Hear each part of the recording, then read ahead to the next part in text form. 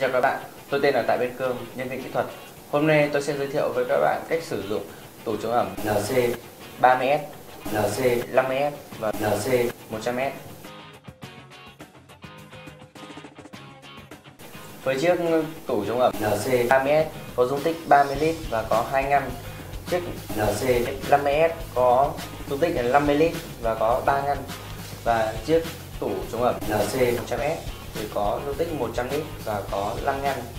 Công dụng chính của tủ dùng để bảo quản những thiết bị điện tử như máy ảnh, máy quay, điện thoại, ống kính và bao đĩa nhạc. Tủ gồm 3 bộ phận chính. Đầu tiên là thân máy, thứ hai bộ điều khiển và thứ ba màn hình hiển thị nhiệt độ và độ ẩm. Nhiệt độ có màu xanh và độ ẩm có màu đỏ. Ngoài ra tủ sử dụng nguồn điện áp rất thấp nên rất tiết kiệm điện năng trong quá trình các bạn sử dụng. Ba tủ với nguồn cấp và cơ chế hoạt động như nhau. Bây giờ tôi sẽ hướng dẫn các bạn cách sử dụng các tủ này. Đầu tiên, các bạn cấp nguồn điện cho máy sử dụng. Bước thứ hai, bấm set hai lần để cài đặt máy. Đồng hồ sẽ hiển thị độ ẩm nhấp nháy.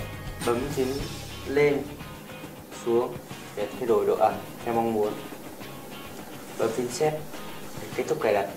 Phím thứ hai là phím xuống, dùng để kiểm tra độ ẩm cài đặt và độ ẩm hiện tại trong tủ. Phím thứ ba là phím lên, dùng để bật, tắt đèn nét trong tủ. Để bảo quản tủ, các bạn không để những sản phẩm dễ ăn mòn, dễ bay hơi vào tủ. Khi bảo quản thực phẩm và những sản phẩm thiết bị y tế, chúng ta phải bọc kín trước khi cho vào tủ. Tuyệt đối không được tháo những thiết bị điều khiển của tủ. Thường xuyên kiểm tra tủ để chắc chắn tủ hoạt động bình thường. Khi đồng hồ không hiển thị hoặc độ ẩm vượt quá 60%, các bạn vui lòng kiểm tra cửa đã đóng kín hay chưa, kiểm tra nguồn điện ổn định hay không. Khi bộ điều khiển không hoạt động, các bạn vui lòng gửi máy và phiếu bảo hành về trung tâm bảo hành của chúng tôi.